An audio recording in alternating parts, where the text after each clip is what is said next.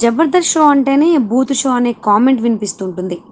మరీ శృతి మించిపోతోందనే కామెంట్లు వచ్చినా సరే పంచులోని తీవ్రతను తగ్గించుకోరు.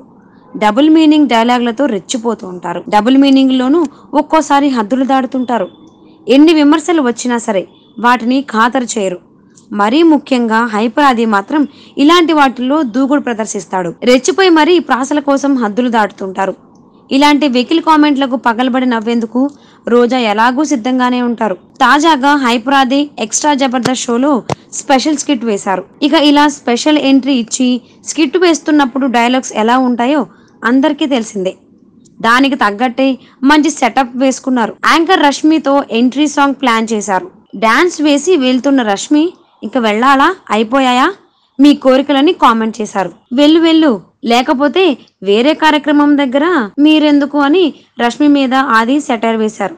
దీంతో ఓ చూపు చూసి రష్మి వెళ్ళిపోయారు. ఇక అంతటితో ఆగని ఆది క్యారెక్టర్ ఆర్టిస్ట్ శాంతితో భార్య పాత్రను పోషించేలా భిన్న గెటప్ వేయించారు. శిల్పంలా ఉండే భార్య కావాలని ఊహించుకున్న ఆదికి శాంతిని చూసి కళ్ళు తిరిగిపోయాయి. దెబ్బకు మంచం కిందకు వెళ్ళిపోతారు. అలా ఆది మంచం కిందకు వెళ్ళినప్పుడు ఆ భార్య ఏవండి? బయటకు రండి. నేను వంగలేను అని అంటారు. నువ్వు వంగలేవు నేను బయటకు వస్తే అని అలా గ్యాప్ ఇచ్చేస్తాడు ఆది. ఆ తర్వాత డైలాగ్ ఏంటో అర్థం చేసుకున్న రష్మి రోజా పగలబడి నవ్వేశారు ఇలా దారుణమైన డబుల్ మీనింగ్ డైలాగ్లతో ఆది రెచ్చిపోయారు. ఇక ఫైనల్గా ఈరోజు ఏ వారం అంటే మంగళవారం అని భార్య సమాధానం చెబుతుంది. అయితే అవ్వదు అంటూ మరో దరిద్రమైన డబుల్ మీనింగ్ డైలాగ్ కొట్టేశారు. హలో సార్ మేడం యాదాద్రి సమీపంలో భువనసూర డెవలపర్స్ వెంచర్లో గజం కేవలం ఆరు వేల ఆరు వందలకే. మీకు అర్థమవుతుందా?